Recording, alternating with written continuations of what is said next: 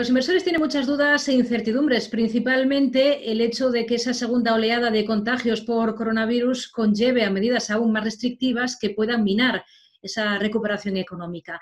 ¿Hasta qué punto está en cuestión o en entredicho esa recuperación? Es lo que vamos a analizar en los próximos minutos con la ayuda de José Lizán, que es gestor de Magnum SICAF en Solventis. ¿Qué tal, José? Bienvenido.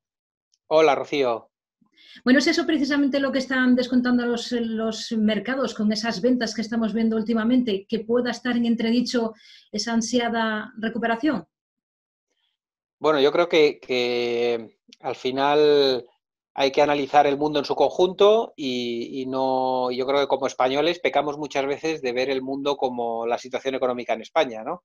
Al final, si nos fijamos, el shock del COVID ha traído una mega recesión a nivel mundial, ningún país ha sido exento, primero nos confinaron eh, de forma más severa en unas zonas que otras, pero en general ha habido un impacto entre el 6 y el 12% más o menos en el PIB mundial, dependiendo del país o la zona geográfica, y ha habido un impacto mucho mayor en el sector servicios que en el sector eh, manufacturas.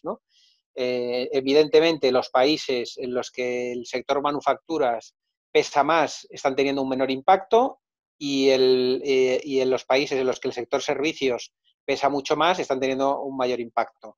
Francia tiene un gran peso en el sector servicios y, está teniendo, a pesar de que tiene un gran tejido industrial y de manufactura, está teniendo impacto muy abultado en la parte de servicios. España, que es eminentemente servicios, pues estamos teniendo una debacle. Eh, eh, Alemania, que en un primer inicio, eh, por toda la exposición a China, tuvo un shock importante, se está recuperando fuerte toda la parte de manufacturas. ¿Qué quiero decir con esto? Que la recuperación no es simétrica, es asimétrica y, no, podemos generalizar el mundo como si fuéramos solo España. Hay que quitarse un poco la gorra de españoles y, ver el mundo en su conjunto.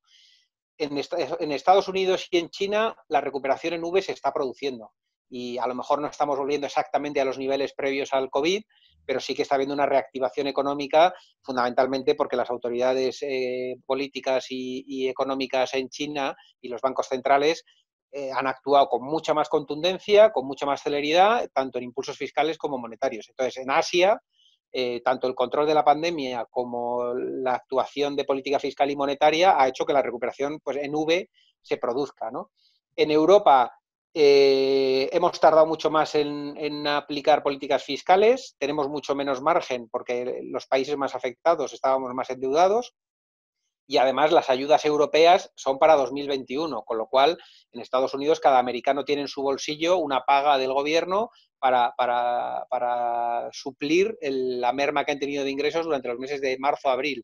O sea, el impacto no es homogéneo en el mundo y hay que discernirlo así, ¿no? Entonces, evidentemente, no va a ser lo mismo la recuperación en España que la recuperación en China que la recuperación en Estados Unidos. Y yo creo que lo que hay dudas otra vez es de, luego, el tema sanitario en Europa parece que está menos controlado que, en Asia, fundamentalmente. Estados Unidos ha optado por una, vía más agresiva, que es confinar menos asumiendo un mayor número de, muertes, pero al final si nos fijamos en las grandes cifras, por desgracia, esto es un tema estadístico, está entre el 0,1 y el 0,2 de la población, depende mucho del envejecimiento de la población y de la densidad de población, pero el mm. impacto, Estados Unidos, 300 y pico millones de personas, 200.000 fallecidos, España, 50 y pico millones de personas, unos 40.000, o sea que al final las cifras están ahí en, en todos los países, optes por el confinamiento severo o no. ¿Qué quiero decir con esto? Que los que hemos optado por un confinamiento más severo y seguimos optando por confinamientos más severos, eh, estamos teniendo un mayor impacto en la economía y la recuperación está más en duda y Europa está eh, siendo más severa en, a lo mejor los medios sanitarios son menores o, la ética es mayor y entonces creo que en Europa hay muchas más dudas del crecimiento y eso es lo que está haciendo pues que el impacto en la bolsa española sea mucho mayor y el peso del sector servicios evidentemente es mucho mayor también. Teniendo esto claro, ¿qué hacer a partir de ahora en lo que queda de, ejercicio desde el punto de vista de nuestras inversiones? ¿Hay que implementar estrategias de inversión, pensando como un inversor español, estrategias de, de protección, quiero decir, estar más cauto ¿O es de los que piensa que precisamente hay que aprovechar estas caídas que ahora mismo en las últimas jornadas se están registrando para, comprar más? Bueno, yo creo que el mes de octubre tenemos muchos hitos políticos tenemos las negociaciones del Brexit, tenemos la final de campaña en Estados Unidos, tenemos el rebrote en el tema sanitario.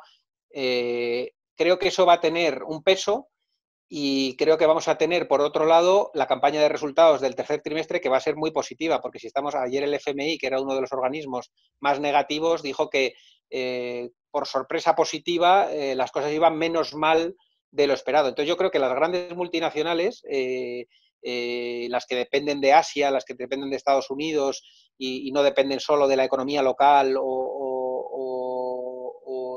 más regional dentro de Europa, creo que van a presentar unos números muy fuertes. Entonces yo creo que en estas correcciones hay que ir posicionándose en los valores que tienen fuerte exposición a las zonas geográficas donde se está recuperando nube la economía. ¿no? Y yo creo, pues por ejemplo, el sector del automóvil, el sector del lujo, con una fuerte presencia en China, eh, en términos relativos en esta caída lo están haciendo muy bien. Eh, creo que cuando acabe esta corrección, el sector del lujo y el sector de automóviles van a continuar con su celda alcista creo que, o sea, creo que hay que ser selectivos y apostar porque esto es una corrección, una toma de beneficios. Después, no nos olvidemos, el DAX hizo 8.000 puntos o 7.000 y pico, está en 13.000, ha llegado a 13.500. El Eurostox hizo 2.400, se ha ido a 3.400. El SP en positivo en el año y el Nasdaq lo mismo. Creo que es una corrección lógica y normal después de, de todo ese boom de los estímulos, pero creo que es una corrección en esos mercados líderes y en esos mercados que tienen fuerte exposición a donde se está recuperando nube la economía para tomar posiciones y posicionarnos, ¿no? Y mm. creo que hay que seguir infraponderados en, economías que tienen un fuerte peso en el sector servicios, que dependen mucho del turismo, que dependen mucho de la restauración, del ocio, y claramente pues Francia, España, eh, Italia son, son zonas geográficas que dependen mucho de esa actividad, ¿no? Entonces creo que vamos a seguir pues un poco con, con, el freno de mano puesto ¿no? en, sí. Una cosa más, em, sector financiero aquí en España, eh, bueno, en todo el mundo, lleva 12 años eh, cayendo, particularmente en, mercados como el nuestro. ¿La única opción que tienen eh, ahora mismo son más fusiones de corte defensivo? Bueno, yo creo que el Banco Central Europeo, que llevaba con el megáfono y diciéndolo a voces que había que fusionarse, yo creo que ya con esa relajación en, todo el tema de los badwill y, y de las ampliaciones de capital post-fusión que exigía a las entidades, ha liberado eh, la espita, ¿no? Como se suele decir, ha abierto las compuertas y en Italia ha empezado el, proceso, en España ha empezado el proceso y yo creo que va a seguir el proceso, ¿no? Todos los días ayer Unicaja y Liberbank dijeron que retomaban las conversaciones.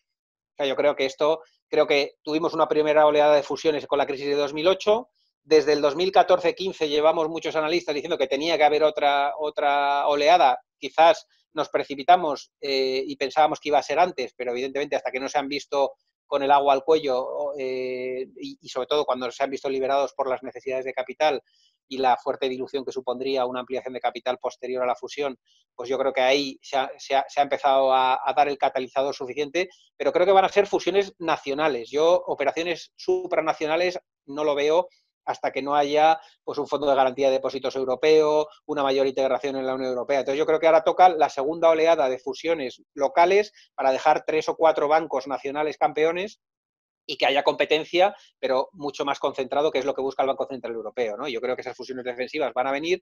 Estamos viendo con Bankia, Caixa, que tampoco se gana sí que es verdad que si las coges en el mínimo, ¿no? Eh, los que han aprovechado este crash bursátil, pues han tenido plusvalías del 30, del 25, pero realmente es un 25 sobre muy poco, ¿no? Las caídas son enormes y no se está generando una gran riqueza en esos movimientos corporativos, ¿no? Evidentemente hay muchas posiciones bajistas, cuando se anuncia la fusión se cierran los cortos y se produce esa plusvalía, las ecuaciones de canje pues suelen ser con una pequeña prima normalmente para alguna de las entidades, pero creo que se va a producir el proceso de fusiones, se van a producir las sinergias en costes, pero hasta que realmente salgamos del atolladero en el sector bancario hace falta que la curva de tipos coja pendiente y yo creo que eso se va a producir cuando se genere inflación, que yo sí que la espero para, para después de esta crisis sí que espero, no la espero para 2021 el primer trimestre, la espero, hablo para tres o cuatro años vista, sí que espero un repunte inflacionario de los tramos largos y que, y que venga de la mano una subida de los tramos largos de la curva y que ahí empiece el sectorial bancario a hacer un suelo y a, y a recuperarse.